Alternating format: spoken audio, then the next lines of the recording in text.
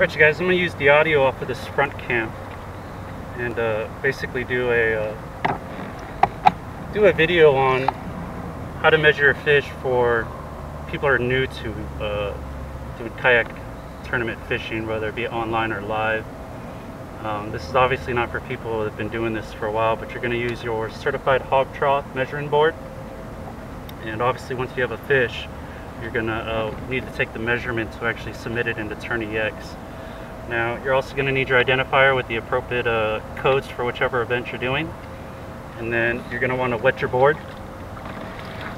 And uh, from here, I'm going to hope that the uh, camera on my head will get this all recorded.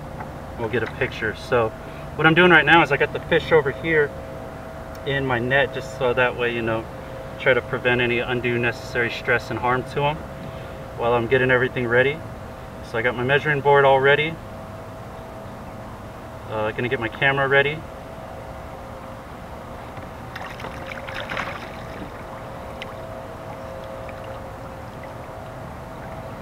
Gonna get your fish here.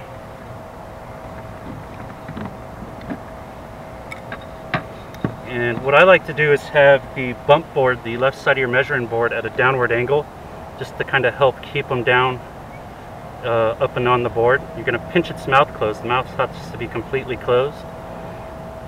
And then I like to put slight pressure on the body and push them towards the bump board to take my picture.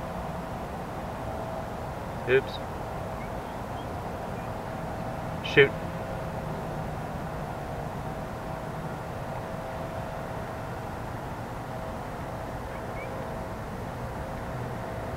Shoot.